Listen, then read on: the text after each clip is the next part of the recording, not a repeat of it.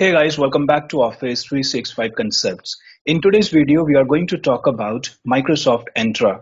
We will discuss what Microsoft Entra is, what features and services are included in Microsoft Entra, and then I'll walk you through all the options within Microsoft Entra Admin Center. Identity and access management is the foundation of your entire security posture. When we talk about a cloud-based identity and access management solution, the only name that comes into our mind is Azure Active Directory. Azure Active Directory provides various services to manage identities and to control their access. However, Microsoft Entra includes identity governance and permission management capabilities that takes the identity and access management to the next level. Microsoft Entra is a full suite that lets you manage identities, access management, credentials verification, and permissions. Currently, there are five products in Microsoft Entra suite. Microsoft Entra ID or Microsoft Entra Identity that was earlier called as Azure Active Directory, Microsoft Entra Permissions Management, Microsoft Entra Identity Governance, Microsoft Entra Workload Identities, and Microsoft Entra Verified IDs. Now you might have a question that if Azure Active Directory has become Microsoft Entra ID, then is it going away? So the answer is no. Azure Active Directory is not getting deprecated or removed. Only the name is changed from Azure Active Directory to Microsoft Entra ID. You can still find all the features of Azure Active Directory in Microsoft Entra ID under Microsoft Entra Admin Center. So remember this, Azure Active Directory is now Microsoft Entra ID. Apart from this change, there are few more changes that are happening in Azure Active Directory. For example, if we talk about Azure AD licenses, Azure AD free license will be renamed to Microsoft Entra ID Free Azure AD Premium P1 license will be renamed to Microsoft Entra ID P1. Azure AD P2 license will be renamed to Microsoft Entra ID P2. And Azure AD external identities will be renamed to Microsoft Entra External ID. As per Microsoft official documentation, the display name of the licenses will change on 1st October 2023. Apart from these changes, you will also find few other changes in the display name of the features. For example, Azure AD Access Token Authentication will be called Microsoft Entra Access Token Authentication. Azure AD Account will be called as Microsoft Entra Account. Azure AD Admin Center will be called Microsoft Entra Admin Center. Azure AD Application Proxy will be called Microsoft Entra Application Proxy, and so on. There are few more features as well where display name is changed. You can find the article link in the description of this video. So you can go through that to get more insights on this. So now that you know what Microsoft Entra is, let's go to Microsoft Entra Admin Center and explore all the options. To access Microsoft Entra Admin Center, you will go to Microsoft 365 Admin Center and then you will go to Identity. If you want to directly open Microsoft Entra Admin Center, go to browser and type entra.microsoft.com. This way also you can access Microsoft Entra Admin Center. And if you want to access Azure Active Directory, go to browser, type portal.azure.com. And from here you can access Azure Active Directory. Here you can see it says Azure Active Directory is becoming Microsoft Entra ID. And if you go to this article, this article will tell you what changes are being done in Azure Active Directory. I mentioned this link in description of this video. So the first option in Microsoft Entra Admin Center is Identity, which is Microsoft Entra ID. As we discussed earlier, Azure Active Directory will be renamed as Microsoft Entra ID. So all the options that you can see in Azure Active Directory are migrated to Identity under Microsoft Entra Admin Center. So if you go to Overview, you can see name of your organization, you can see tenant ID, you can see how many users you have in your tenant, how many groups you have in your tenant, how many applications are registered in your Azure AD, and how many devices are joined or registered with Azure AD tenant. Next is users. If you go to all users, you can see all the user accounts those are created in your tenant. You can create a new user or you can invite an external user. You can open any user account properties. You can edit properties by clicking edit properties. So all these options are similar to Azure Active Directory, but there are few new features added in Microsoft Entra that we are going to discuss shortly. On the left, you can run audit logs, you can run sign-in logs, You can assign custom security attributes. You can assign roles. You can manage groups for these users. You can add these users to applications. You can manage licenses. You can manage devices and so on. Next, you have deleted users. If you have deleted a user account, you can recover it from here, or you can permanently delete that user account.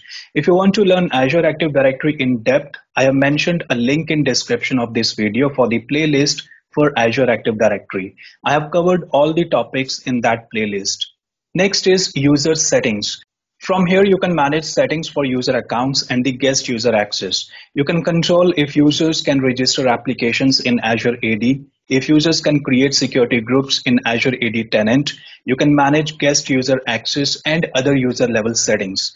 Next is groups. If you go to all groups, here you can see all the groups created in your tenant. You can manage their attributes. You can create a new group. You can go to deleted groups and from here you can recover the deleted groups or you can permanently delete the groups.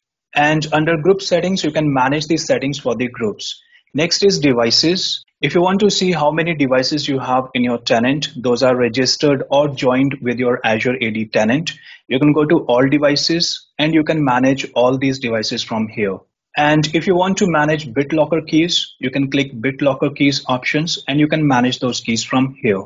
Next, we can see applications. Under applications, if you go to enterprise applications, you can see how many applications are registered in your tenant. You can create new application from here or you can manage the existing applications. Next is roles and admins, from where you can manage the administrator roles. You can assign or remove roles for the user accounts. Next is billing. Under billing, you can manage your licenses. If you go to all products, you can see how many licenses you have in your tenant. You can see how many are assigned and how many licenses are available. And you can manage license related features from here. Next is settings. Under settings, you can see how many domains you have in your tenant. You can manage your domains from here. And under mobility, you can set MDM scope for Intune. If you click Microsoft Intune, you will see all these settings from where you can manage the MDM scope. Next is protection. Under protection, you have identity protection from where you can manage risky users and risky sign-ins.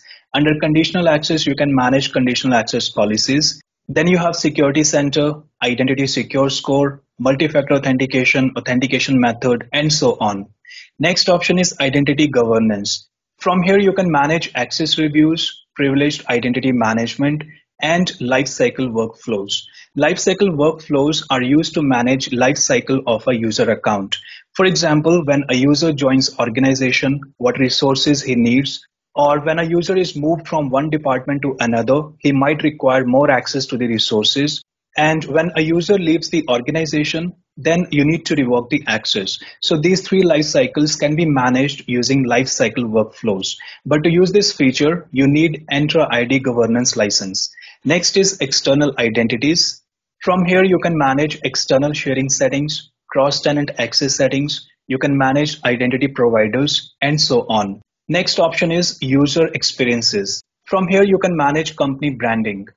You can change the layout of the sign-in page. You can add your company's logo. You can change the theme color. You can add terms and conditions page, or you can add the contact information for your support team. Next is hybrid management. From here, you can manage Azure AD Connect and Azure AD Cloud Sync. And then we have monitoring and health. From here, you can access audit logs, sign-in logs, provisioning logs, and other reports. The next section in Microsoft Entra Admin Center is protection. This protection option is similar to protection under identity. So from here, you can manage conditional access, security center, secure score, multi-factor authentication, authentication methods, you can reset passwords, and so on. Next section is identity governance.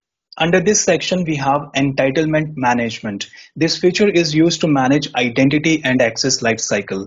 You can automate the request workflows, access assignments. You can review the access and remove the access as well. Moreover, under this section, you can manage access reviews. You can manage privileged identity management and lifecycle workflows. Next is verifiable credentials. Microsoft introduced a new feature in Microsoft Entra that is called verified identities. This feature allows you to issue and verify the credentials. This feature gives a complete control to the users so that they can manage who can view and share their verifiable credentials. This is also called decentralized identity. Like in Azure AD, we store users and their credentials on a centralized place. We do not have control over it. But using verified identities, we can control the credentials flow. Next is permissions management. Microsoft Entra Permissions Management is a cloud infrastructure entitlement management solution or CIEM. This feature provides overall visibility to the permissions those are assigned to the identities. For example, it provides information about the excessive permissions assigned to the users, resource permissions. It also detects if the permissions are unused so it basically discover, remediate, and monitor the permissions. And next option is global secure access. Global secure access is used to manage network access policies and configurations. Nowadays, users are working from anywhere, be it office or from home. Global Secure Access works as a gateway that allows users to access company resources from any location. Global Secure Access includes two features, Microsoft Entra Internet Access and Microsoft Entra Private Access. Microsoft Entra Internet Access is a cloud-based solution that is also called Secure Web Gateway. This basically protects the users from threats those are found on the public network. And Microsoft Entra Private Access uses Azure Application Proxy Access model. This is used to access the applications those are hosted in on-premises without requiring a VPN connection. So this is what we have in Microsoft Entra Admin Center. If you found this video informative, please give it a thumbs up, subscribe to our channel, and if you have questions or suggestions, feel free to write them in the comments below. Thanks for watching. I'll see you in the next video.